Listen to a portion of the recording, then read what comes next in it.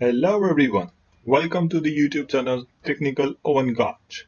Here I'll let you know about the interesting projects related to hardware as well as the software.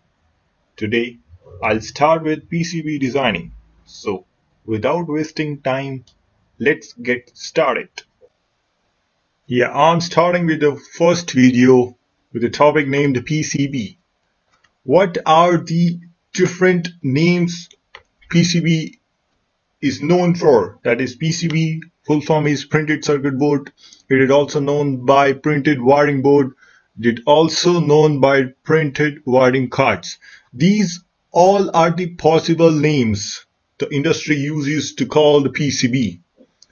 Like first question comes into a person's mind or a designer's mind, why PCB?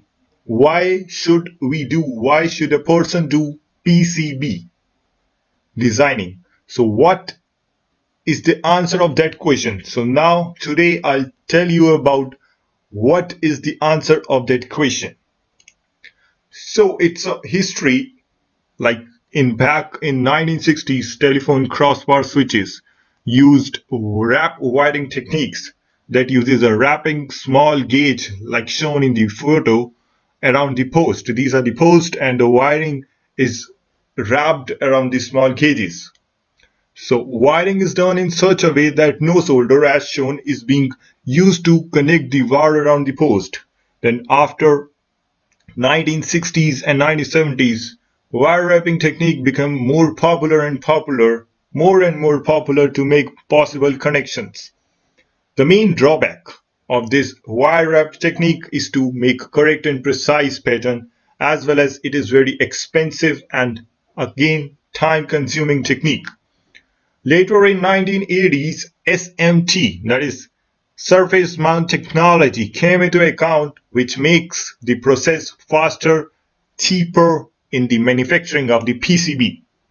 So this is the answer of the question why PCB designing. These are the post around which the wire gauge is rounding up which is called as the wire wrapping technique. The next question arises is what is the PCB? What does the word PCB means? So here's the answer.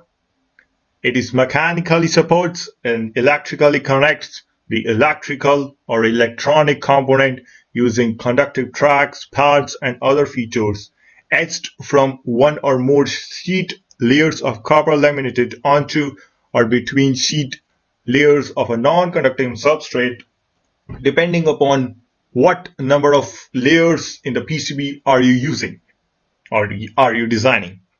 So it is also known for the components are generally soldered onto the PCB to both electrically connect and mechanically fasten them. Some more details about what is the PCB. It can have the multiple copper layers starting with the two possible layers. The two layered board has the copper on both the sides that is on the top as well as on the bottom layer of the PCB. Afterwards, it is known for the multi-layered PCB that is multi multi-layered boards sandwich additional copper layers between layers of insulating material. Conductors on the different layers are connected with vias. Later on in this video, I'll tell you about what are vias. Then comes the through-hole technology, which is used for the through-hole component, which leads sometimes also effectively functions as the vias. Again, I'll show you when I will discuss about vias. After the two-layer PCB, the next step is the four-layer PCB. There is no three-layer PCB. Often two layers are dedicated as power supply and ground planes and the other two are used for the signal wiring between the components like I will discuss later in this video. Now I will discuss more about vias and the ground planes. The full form of the via is vertical interconnect access. It is an electrical connection between the layers in the physical electronic circuit that go through the plane of one or more adjacent layers as shown in the figure below. Vias are the copper-plated holes that function as the electrical tunnels through the insulating substrate. The three different things are shown in this figure below. That is the through-hole technology, which conducts all the layers it is passing through. The blind via, which is making the conductive between the layer 1 and the layer 2. The buried via is making the conductive path between the layer 2 and the layer 3. Now we'll discuss about ground planes. These are the most important thing in the PCB, in the designing of the PCB. Ground planes are the electrically conductive surface, usually connected to the electrical ground. Ground plane is a large area of the copper foil on the board which is connected to the power supply ground terminal and serves as a return path for the current from the different components on the board.